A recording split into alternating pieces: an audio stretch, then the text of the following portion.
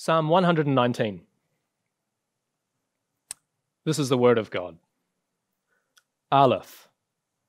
Blessed are those whose way is blameless, who walk in the law of the Lord.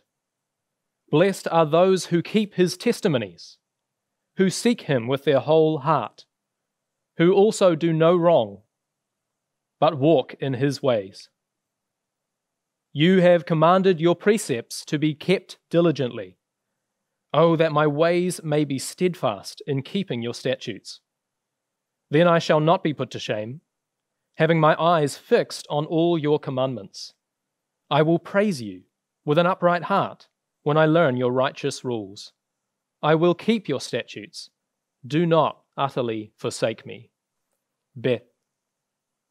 How long can or how can a young man keep his way pure? By guarding it according to your word. With my whole heart I seek you. Let me not wander from your commandments. I have stored up your word in my heart, that I might not sin against you. Blessed are you, O Lord, teach me your statutes. With my lips I declare all the rules of your mouth.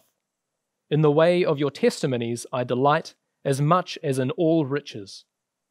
I will meditate on your precepts and fix my eyes on your ways.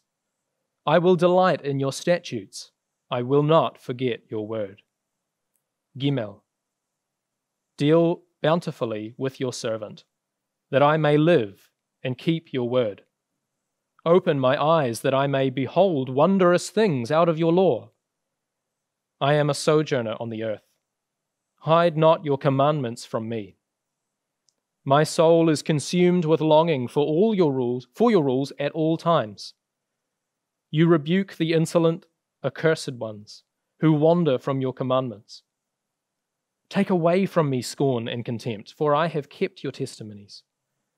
Even though princes sit plotting against me, your servant will meditate on your statutes.